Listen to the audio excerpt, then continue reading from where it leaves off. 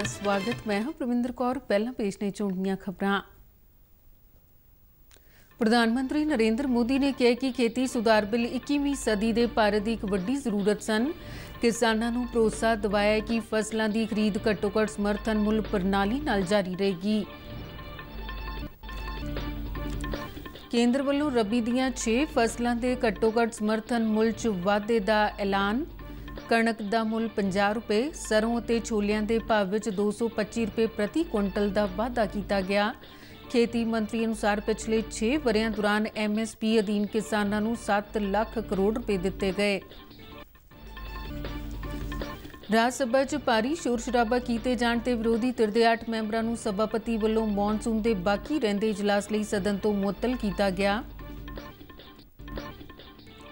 ਭਾਰਤ ਅਤੇ ਚੀਨ ਵਿਚਾਲੇ ਕੋਰ ਕਮਾਂਡਰ ਪਦਵੀ ਗੱਲਬਾਤ ਅੱਜ ਪੂਰਬੀ ਲੱਦਾਖ ਵਿੱਚ ਅਸਲ ਕੰਟਰੋਲ ਰੇਖਾ ਦੇ ਨਾਲ ਚੀਨ ਵਾਲੇ ਪਾਸੇ ਮੌਲਦੋ 'ਚ ਜਾਰੀ।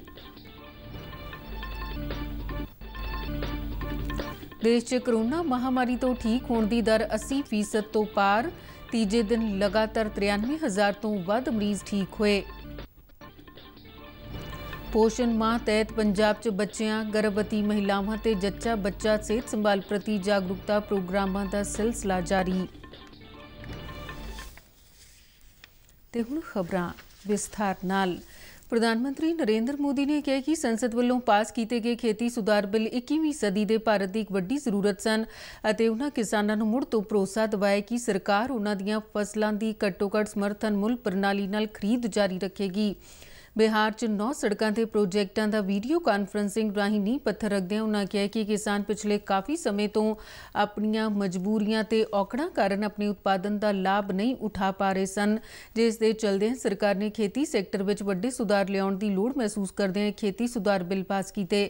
ਉਹਨਾਂ ਕਿਹਾ ਕਿ ਸਰਕਾਰ ਨੇ ਇਸੇ ਵਰੇ ਜੂਨ 'ਚ ਖੇਤੀ ਸੁਧਾਰਾਂ ਨਾਲ ਜੁੜੇ ਤਿੰਨ ਆਰਡੀਨੈਂਸ ਜਾਰੀ ਕੀਤੇ ਸਨ, ਜਿਨ੍ਹਾਂ ਨੇ ਕੱਲ ਸੰਸਦ ਵਿੱਚ ਬਿੱਲਾਂ ਦੀ ਥਾਂ ਲਈ ਹੈ। ਪ੍ਰਧਾਨ ਮੰਤਰੀ ਨੇ ਕਿਹਾ ਕਿ ਕਈ ਸੂਬਿਆਂ 'ਚ ਕਿਸਾਨ ਆਪਣੇ ਉਤਪਾਦਨ ਦੀ ਪਹਿਲਾਂ ਤੋਂ ਹੀ ਵਧੀਆ ਕੀਮਤ ਹਾਸਲ ਕਰ ਰਹੇ ਸਨ। ਉਹਨਾਂ ਕਿਹਾ ਕਿ ਕੱਲ ਪਾਸ ਕੀਤੇ ਗਏ ਖੇਤੀ ਬਿੱਲਾਂ ਨਾਲ ਕਿਸਾਨਾਂ ਨੂੰ ਆਪਣੀ ਫਸਲ ਕਿਸੇ ਵੀ ਥਾਂ ਤੇ ਢੁਕਵੇਂ ਮੁੱਲ ਤੇ ਵੇਚਣ ਦੀ ਆਜ਼ਾਦੀ ਹੋਵੇਗੀ। ਕਿਸਾਨਾਂ ਦੇ ਇੱਕ ਵਰਗ ਦੀਆਂ ਚਿੰਤਾਵਾਂ ਨੂੰ ਦੂਰ ਕੀਤੇ ਜਾਣ ਦੀ ਜ਼ਰੂਰਤ ਹੈ ਤੇ ਉਹਨਾਂ ਕਿਹਾ ਕਿ ਉਹ ਇਹ ਗੱਲ ਸਾਫ਼ ਕਰ ਦੇਣਾ ਚਾਹੁੰਦੇ ਨੇ ਕਿ ਇਹ ਬਿੱਲ ਖੇਤੀ ਮੰਡੀਆਂ ਵਿਰੁੱਧ ਨਹੀਂ ਹੈ ਅਤੇ ਇਹ ਮੰਡੀਆਂ ਪਹਿਲਾਂ ਵਾਂਗ ਹੀ ਆਪਣਾ ਕੰਮ ਕਰਦੀਆਂ ਰਹਿਣਗੀਆਂ।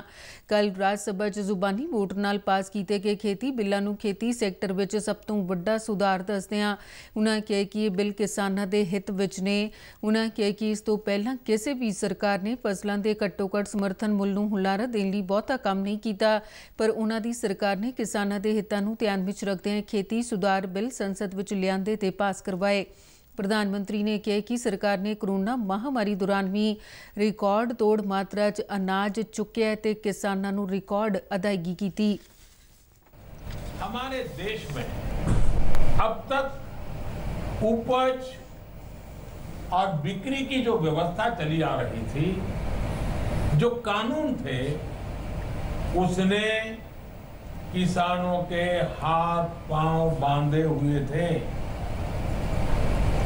इन कानूनों की आड़ में देश में ऐसे ताकतवर गिरोह पैदा हो गए थे जो किसानों की मजबूरी का फ़ायदा उठा रहे थे। नए कृषि सुधारों ने देश के हर किसान को ये आज़ादी दी है कि वो किसी को भी, कहीं पर भी अपनी फ़सल, अपने फल, सब्ज़ियाँ अपनी शर्तों पर बेच सकता है। अब उसे अपने क्षेत्र की मंडी के अलावा भी कई और विकल्प मिल गए हैं ਕੇਂਦਰ ਨੇ ਕਣਕ ਸਮੇਤ 6 ਫਸਲਾਂ ਦੇ ਘੱਟੋ-ਘੱਟ ਸਮਰਥਨ ਮੁੱਲ ਵਿੱਚ 50 ਰੁਪਏ ਤੋਂ ਲੈ ਕੇ 300 ਰੁਪਏ ਪ੍ਰਤੀ ਕੁਇੰਟਲ ਦਾ ਵਾਧਾ ਕਰਨ ਦਾ ਐਲਾਨ ਕੀਤਾ ਹੈ। ਇਹ ਫੈਸਲਾ ਅੱਜ ਪ੍ਰਧਾਨ ਮੰਤਰੀ ਨਰਿੰਦਰ ਮੋਦੀ ਦੀ ਪ੍ਰਧਾਨਗੀ ਹੇਠ ਕੇਂਦਰੀ ਕੈਬਨਿਟ ਦੀ ਆਰਥਿਕ ਮਾਮਲਿਆਂ ਬਾਰੇ ਕਮੇਟੀ ਦੀ ਮੀਟਿੰਗ 'ਚ ਲਿਆ ਗਿਆ। ਖੇਤੀ ਮੰਤਰੀ ਨਰਿੰਦਰ ਸਿੰਘ ਤੋਮਰ ਨੇ ਮੀਟਿੰਗ ਮਗਰੋਂ ਇਹ ਜਾਣਕਾਰੀ ਦਿੰਦਿਆਂ ਦੱਸਿਆ ਕਿ ਭਾਰਤੀ ਖੁਰਾਕ ਨਿਗਮ ਅਤੇ ਹੋਰ ਸਰਕਾਰੀ ਏਜੰਸੀਆਂ ਇਹਨਾਂ ਫਸਲਾਂ ਦੀ ਘੱਟੋ-ਘੱਟ ਸਮਰਥਨ ਮੁੱਲ ਤੇ ਖਰੀਦ ਕਰਨਗੀਆਂ।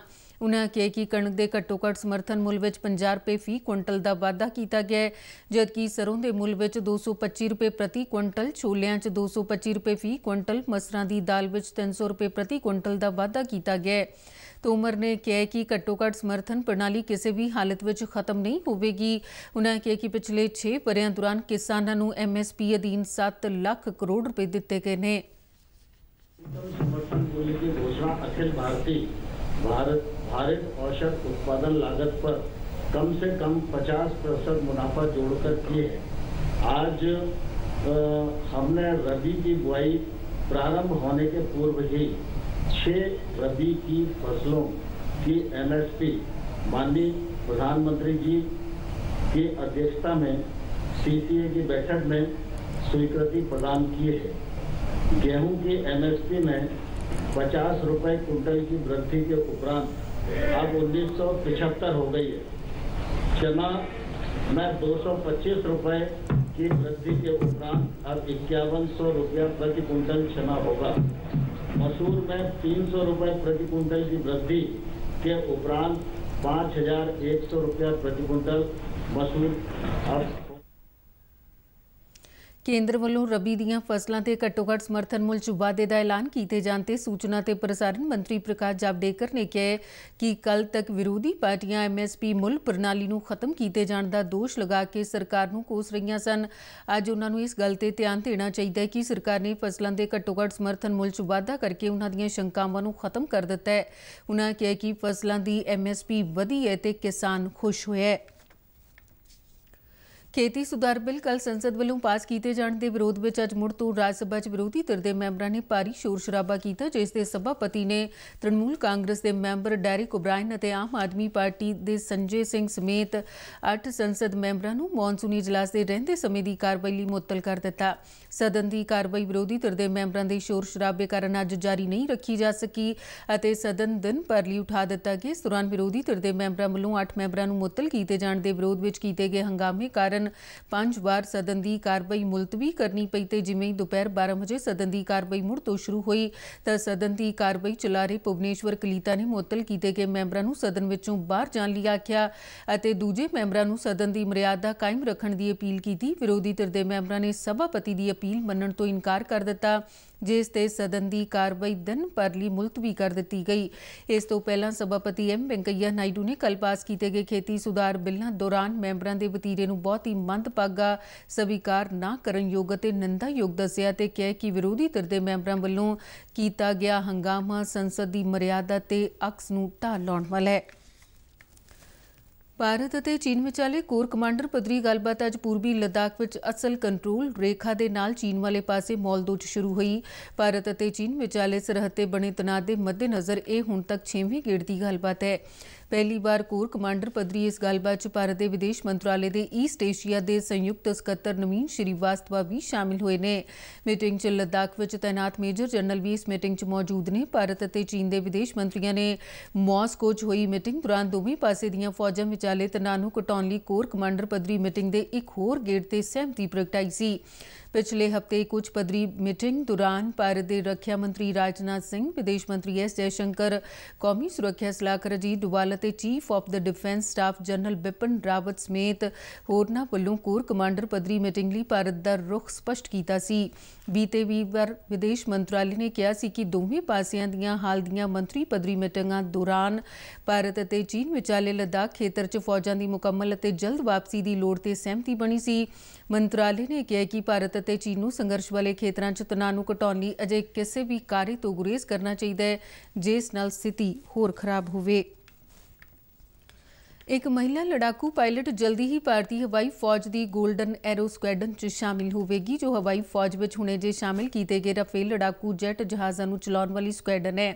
ਸਰਕਾਰੀ ਸੂਤਰਾਂ ਅਨੁਸਾਰ ਇਸ ਮਹਿਲਾ ਪਾਇਲਟ ਨੂੰ ਰਾਫੇਲ ਜਹਾਜ਼ ਉਡਾਉਣ ਦੀ ਸਿਖਲਾਈ ਦਿੱਤੀ ਜਾ ਰਹੀ ਹੈ।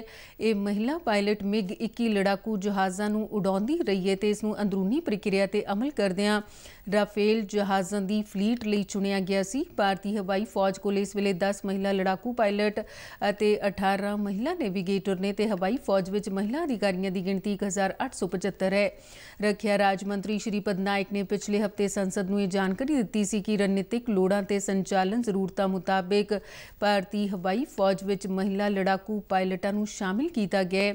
ਫਰਾਂਸ 'ਚ ਨਿਰਮਿਤ ਬਹੁ ਭੂਮਿਕਾ ਵਾਲੇ ਪੰਜ ਰਾਫੇਲ ਲੜਾਕੂ ਜਹਾਜ਼ਾਂ ਨੂੰ 10 ਸਤੰਬਰ ਨੂੰ ਅੰਬਾਲਾ 에ਅਰਬੇਸ ਦੇ ਭਾਰਤੀ ਹਵਾਈ ਫੌਜ ਵਿੱਚ ਸ਼ਾਮਿਲ ਕੀਤਾ ਗਿਆ ਸੀ। ਭਾਰਤ 'ਚ ਕੋਵਿਡ-19 ਮਹਾਮਾਰੀ ਤੋਂ ਠੀਕ ਹੋਣ ਦੀ ਦਰ 80% ਤੋਂ ਪਾਰ ਹੋ ਗਈ ਹੈ ਤੇ ਲਗਾਤਾਰ ਤੀਜੇ ਦਿਨ 90000 ਤੋਂ ਵੱਧ ਕਰੋਨਾ ਮਰੀਜ਼ ਸਿਹਤਯਾਬ ਹੋਏ ਨੇ। ਕੇਂਦਰੀ ਸਿਹਤ ਮੰਤਰਾਲੇ ਨੇ ਅੱਜ ਇੱਕ ਬਿਆਨ ਰਾਹੀਂ ਦੱਸਿਆ ਕਿ ਬੀਤੇ 24 ਘੰਟਿਆਂ ਦੌਰਾਨ 93356 ਮਰੀਜ਼ਾਂ ਨੂੰ ਠੀਕ ਹੋਣ ਤੋਂ ਬਾਅਦ ਛੁੱਟੀ ਦਿੱਤੀ ਗਈ।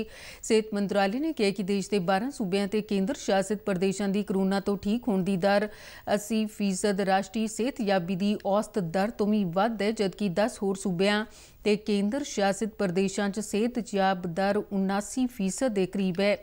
ਮੰਤਰਾਲੇ ਮੁਤਾਬਿਕ ਦੇਸ਼ ਵਿੱਚ ਹੁਣ ਕਰੋਨਾ ਤੋਂ ਠੀਕ ਹੋਣ ਵਾਲੇ ਮਾਮਲੇ 44 ਲੱਖ ਦੇ ਕਰੀਬ ਨੇ, ਜੋ ਵਿਸ਼ਵ ਪੱਧਰੀ ਕੁੱਲ ਠੀਕ ਹੋਣ ਵਾਲੇ ਮਾਮਲਿਆਂ ਦੇ ਅੰਕੜੇ ਦਾ 19% ਤੋਂ ਵੱਧ ਬਣਦਾ ਹੈ। ਭਾਰਤ 'ਚ ਕੋਵਿਡ-19 ਮਹਾਮਾਰੀ ਦੇ ਪੁਸ਼ਟੀ ਵਾਲੇ ਕੁੱਲ ਮਰੀਜ਼ਾਂ ਦੀ ਗਿਣਤੀ 54 ਲੱਖ 88 ਹਜ਼ਾਰ ਹੋ ਗਈ ਹੈ ਤੇ ਪਿਛਲੇ 24 ਘੰਟਿਆਂ ਦੌਰਾਨ 86961 ਨਵੇਂ ਮਾਮਲੇ ਸਾਹਮਣੇ ਆਏ ਨੇ। ਮੰਤਰਾਲੇ ਅਨੁਸਾਰ ਕਰੋਨਾ ਕਾਰਨ ਦੇਸ਼ ਵਿੱਚ ਹੁਣ ਤੱਕ ਹੋਣ ਵਾਲੀਆਂ ਮੌਤਾਂ ਦੀ ਗਿਣਤੀ 87882 ਤੱਕ ਪਹੁੰਚ ਗਈ ਹੈ, ਜਿਨ੍ਹਾਂ 'ਚ ਬੀਤੇ 24 ਘੰਟਿਆਂ ਦੌਰਾਨ ਹੋਈਆਂ 1130 ਮੌਤਾਂ ਵੀ ਸ਼ਾਮਿਲ ਨੇ।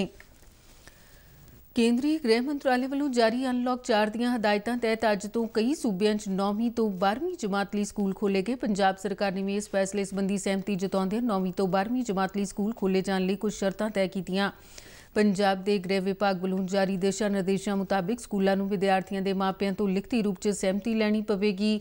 ਇਸ ਤੋਂ ਇਲਾਵਾ ਕੇਂਦਰੀ ਸਿਹਤ ਮੰਤਰਾਲੇ ਵੱਲੋਂ ਜਾਰੀ ਕੀਤੇ ਗਏ ਐਸਓਪੀ ਨੂੰ ਅਮਲ ਵਿੱਚ ਲਿਆਉਣਾ ਹੋਵੇਗਾ। ਸੂਬਾ ਸਰਕਾਰ ਦੀਆਂ ਹਦਾਇਤਾਂ ਮੁਤਾਬਿਕ ਕੇਵਲ ਗੈਰ ਕੰਟੇਨਮੈਂਟ ਖੇਤਰਾਂ ਵਿੱਚ ਹੀ ਸਕੂਲ ਖੋਲੇ ਜਾ ਸਕਣਗੇ। ਸਕੂਲ ਖੋਲੇ ਜਾਣ ਦੀ ਇਹ ਪੂਰੀ ਪ੍ਰਕਿਰਿਆ ਸਵੈ ਇੱਛਾ ਤੇ ਆਧਾਰਿਤ ਹੋਵੇਗੀ।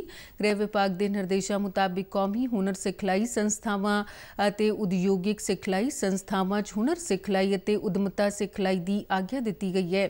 ਵਿਭਾਗ ਵੱਲੋਂ ਅਜਿਹੀ ਸੰਸਥਾਵਾਂ ਲਈ ਵੱਖਰੇ ਤੌਰ ਤੇ ਦਿਸ਼ਾ ਨਿਰਦੇਸ਼ ਜਾਰੀ ਕੀਤੇ ਗਏ ਨੇ। ਵਿਭਾਗ ਨੇ ਕਿਹਾ ਕਿ ਸਕੂਲ ਅਤੇ ਹੋਰ ਵਿਦਿਅਕ ਸੰਸਥਾਵਾਂ ਨੂੰ ਖੋਲ੍ਹੇ ਜਾਣ ਵੇਲੇ ਕੋਵਿਡ ਨਿਯਮਾਂ ਦੀ ਸਖਤੀ ਨਾਲ ਪਾਲਣਾ ਕੀਤੀ ਜਾਵੇ ਅਤੇ ਵਿਦਿਆਰਥੀਆਂ ਲਈ ਲੋੜੀਂਦੀਆਂ ਸਿਹਤ ਸਾਵਧਾਨੀਆਂ ਨੂੰ ਯਕੀਨੀ ਬਣਾਇਆ ਜਾਵੇ।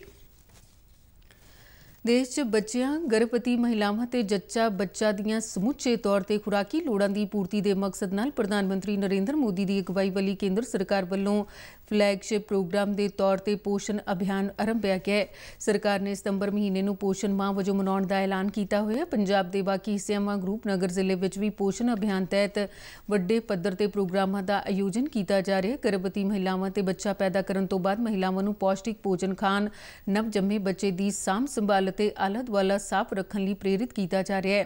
ਪੋਸ਼ਣ ਅਭਿਆਨ ਤਹਿਤ ਰੂਪਨਗਰ ਜ਼ਿਲ੍ਹੇ 'ਚ ਵੱਖ-ਵੱਖ ਪਿੰਡਾਂ, ਕਸਬਿਆਂ ਤੇ ਸ਼ਹਿਰਾਂ 'ਚ ਆਂਗਣਵਾੜੀ ਸੈਂਟਰਾਂ ਦੇ ਨਾਲ ਗਲੀਆਂ, ਮੁਹੱਲਿਆਂ ਤੇ ਸਿਹਤ ਕੇਂਦਰਾਂ 'ਚ ਇਹਨਾਂ ਮਹਿਲਾਵਾਂ ਨੂੰ ਵੱਖ-ਵੱਖ ਤਰੀਕਿਆਂ ਰਾਹੀਂ ਪੌਸ਼ਟਿਕ ਭੋਜਨ ਬਾਰੇ ਜਾਣਕਾਰੀ ਦਿੱਤੀ ਜਾ ਰਹੀ ਹੈ। ਕਰੋਨਾ ਕਾਲ ਦੇ ਚਲਦਿਆਂ ਵਿਸ਼ੇਸ਼ ਸਾਵਧਾਨੀਆਂ ਨਾਲ ਇਸ ਅਭਿਆਨ ਨੂੰ ਸਿਰੇ ਚਾੜਿਆ ਜਾ ਰਿਹਾ ਹੈ। ਰੂਪਨਗਰ ਬਲਾਕ ਦੀ ਆਂਗਨਵਾੜੀ ਸੈਂਟਰਾਂ ਦੀ ਪ੍ਰਧਾਨ ਰੀਮਾ ਰਾਣੀ ਨੇ ਦੱਸਿਆ ਕਿ ਜ਼ਿਲ੍ਹੇ ਦੇ ਸਾਰੇ ਆਂਗਨਵਾੜੀ ਕੇਂਦਰਾਂ ਰਾਹੀਂ ਵਿਸ਼ੇਸ਼ ਤੌਰ ਤੇ ਸੈਂਟਰਾਂ ਦੇ ਨਜ਼ਦੀਕ ਰਹਿਣ ਵਾਲੀਆਂ ਗਰਭਵਤੀ ਔਰਤਾਂ ਨੂੰ ਪੋਸ਼ਣ ਅਭਿਆਨ ਦੇ 15 ਬਾੜੇ ਦੌਰਾਨ ਵਿਸ਼ੇਸ਼ ਜਾਣਕਾਰੀ ਦੇਣ ਦੇ ਨਾਲ-ਨਾਲ ਸਾਫ਼ ਸਫ਼ਾਈ ਦਾ ਧਿਆਨ ਰੱਖਣ ਅਤੇ ਪੌਸ਼ਟਿਕ ਭੋਜਨ ਬਾਰੇ ਜਾਗਰੂਕ ਕੀਤਾ ਜਾ ਰਿਹਾ ਹੈ। ਉਨ੍ਹਾਂ ਦੱਸਿਆ ਕਿ ਪ੍ਰਧਾਨ ਮੰਤਰੀ ਮਾਤਰੂ ਵੰਦਨਾ ਯੋਜਨਾ ਤਹਿਤ ਦੇਸ਼ ਭਰ ਵਿੱਚ ਚਲਾਏ ਜਾ ਰਹੇ ਪੋਸ਼ਣ ਮਾਹ ਦੌਰਾਨ ਗਰਭਵਤੀ ਔਰਤਾਂ ਨੂੰ ਗਰਭ ਦੌਰਾਨ ਪੌਸ਼ਟਿਕ ਖੁਰਾਕ ਤੋਂ ਇਲਾਵਾ ਗਰਭ ਵਿੱਚ ਪਲ ਰਹੇ ਬੱਚੇ ਪ੍ਰਤੀ ਸਾਵਧਾਨੀਆਂ ਬਾਰੇ ਵੀ ਸਮਝਾਇਆ ਜਾਂਦਾ ਹੈ। ਰੂਪਨਗਰ ਜ਼ਿਲ੍ਹੇ ਦੇ ਬਾਮਨ ਮਾਜਰਾ ਦੇ ਆਂਗਨਵਾੜੀ ਸੈਂਟਰ ਵਿੱਚ ਲਾਭਪਾਤਰੀ ਮਹਿਲਾਵਾਂ ਜੋਤੀ ਸ਼ਰਮਾ, ਮਨਦੀਪ ਕੌਰ, ਪਰਮਜੀਤ ਕੌਰ ਅਤੇ ਪ੍ਰੀਤੀ ਸ਼ਰਮਾ ਨੇ ਦੱਸਿਆ ਕਿ ਪੋਸ਼ਣ ਅਭਿਆਨ ਮੁਹਿੰਮ ਦੌਰਾਨ ਉਹਨਾਂ ਨੂੰ ਕਾਫੀ ਕੁਝ ਸਿੱਖਣ ਨੂੰ ਮਿਲਿਆ ਹੈ। ਉਹਨਾਂ ਭਾਰਤ ਸਰਕਾਰ ਦਾ ਇਸ ਯੋਜਨਾ ਨੂੰ ਚਲਾਉਣ ਲਈ ਧੰਨਵਾਦ ਕੀਤਾ। ਪਹਿਲਾਂ ਜੀ ਪੌਸ਼ਟਿਕ ਆਹਾਰ ਸਾਨੂੰ ਪਤਾ ਲੱਗਿਆ ਬੱਚਿਆਂ ਨੂੰ ਕਿਵੇਂ ਕਿਵੇਂ ਪੌਸ਼ਟਿਕ ਆਹਾਰ ਸਾਨੂੰ ਦੇਣਾ ਚਾਹੀਦਾ ਹੈ, ਛੋਟੇ ਬੱਚਿਆਂ ਨੂੰ ਕਿਵੇਂ ਉਹਨਾਂ ਦਾ ਧਿਆਨ ਰੱਖਣਾ ਚਾਹੀਦਾ ਹੈ। ਨੰਬਰ 2 ਤੇ ਜੋ ਵੀ ਸਰਕਾਰ ਇਹਨਾਂ ਨੂੰ ਦੇ- ਰਾਸ਼ਨ ਦੇ ਰਹੀ ਹੈ, ਇਹਨਾਂ ਨੇ ਕੋਵਿਡ-19 ਦਾ 19 ਦਾ ਧਿਆਨ ਰੱਖਦੇ ਹੋਏ ਸੋਸ਼ਲ ਡਿਸਟੈਂਸਿੰਗ ਦਾ ਧਿਆਨ ਰੱਖਦੇ ਹੋਏ ਇਹਨਾਂ ਨੇ ਸਹੀ ਟਾਈਮ ਤੇ ਸਾਨੂੰ ਰਾਸ਼ਨ ਦਿੱਤਾ ਹੈ। ਅਸੀਂ ਸਰਕਾਰ ਦਾ ਬਹੁਤ ਧੰਨਵਾਦ ਕਰਦੇ ਹਾਂ। ਹਾਂਜੀ, ਸਾਨੂੰ ਪੌਸ਼ਟਿਕ ਆਹਾਰ ਬਾਰੇ ਬਹੁਤ ਕੁਝ ਦੱਸਦੇ ਆ ਇਹ ਵੀ ਬੱਚਿਆਂ ਨੂੰ ਦਲੀਆ, ਦੁੱਧ, ਦਹੀਂ ਵਗੈਰਾ ਸਾਰਾ ਕੁਝ ਦੇਣਾ ਚਾਹੀਦਾ ਹੈ ਤੇ ਸਰਕਾਰ ਸਾਨੂੰ ਹਰ ਮਹੀਨੇ ਬੱਚਿਆਂ ਵਾਸਤੇ ਰਾਸ਼ਨ ਭੇਜਦੀ ਹੈ ਅਸੀਂ ਉਹਨਾਂ ਦਾ ਧੰਨਵਾਦ ਕਰਨਾ ਚਾਹੁੰਦੇ ਹਾਂ। ਇਹਨਾਂ ਨੇ ਕਿਹਾ ਹੈ ਜੀ ਵੀ ਬੱਚੇ ਨੂੰ ਚੰਗਾ ਖਾਣਾ ਦਿਓ ਜੀ ਵੀ ਉਹਨੂੰ ਐਨ ਫੀਟ ਵੀ ਰੱਖਣਾ ਚਾਹੀਦਾ ਹੈ ਜੀ। ਪਰ ਦੁੱਧ ਜੀ ਮਿਲ ਰਿਹਾ ਹੈ ਰਸਨ ਮਿਲ ਰਿਹਾ ਹੈ ਜੀ ਚੌਰ ਮਿਲ ਰਿਹਾ ਹੈ ਜੀ ਪੰਜੀਰੀ ਮਿਲ ਰਹੀ ਹੈ ਜੀ। ਸਰਕਾਰ ਦਾ ਧੰਨਵਾਦ ਕਰਦੇ ਹਾਂ। ਸਾਨੂੰ ਇੱਥੇ ਆਂਗਨਵਾੜੀ ਵਿੱਚ ਆ ਕੇ ਬਹੁਤ ਵਧੀਆ ਲੱਗਿਆ। ਸਾਨੂੰ ਇਹਨਾਂ ਨੇ ਸਾਡੇ ਬੱਚਿਆਂ ਨੂੰ ਦੁੱਧ ਦਲੀਆ ਪੰਜੀਰੀ ਕੇਂਦਰ ਸਰ- ਸਰਕਾਰ ਵੱਲੋਂ